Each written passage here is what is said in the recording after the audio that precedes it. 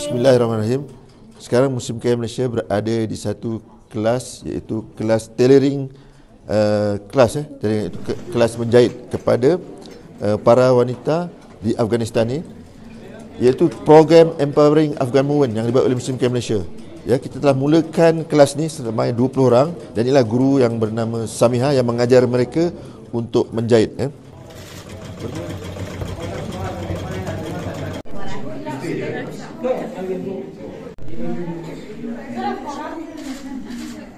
the name of Allah, my name is Muhammad Mustafa uh, Lashkari, and I am about uh, 35 years old, and uh, I am the uh, mudir of this madrasa by the name of Zainabul Ghazali.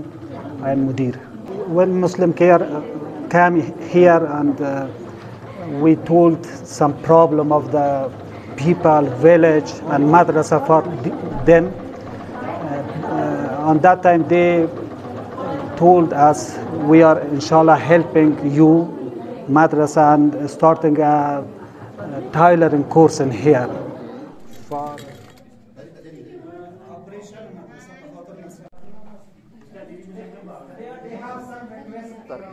dan juga kita juga memberi empowerment kepada perempuan empowerment for women iaitu kita telah memberikan bantuan berbentuk mesin jahit dan kita mengajar mereka mesin jahit supaya mereka boleh berdikari dengan mereka berdikari mereka boleh sekurang-kurangnya boleh menyara kehidupan keluarga masing-masing kerana kebanyakan wanita ini adalah uh, ibu tunggal yang mana telah kehilangan suami mereka akibat peperangan.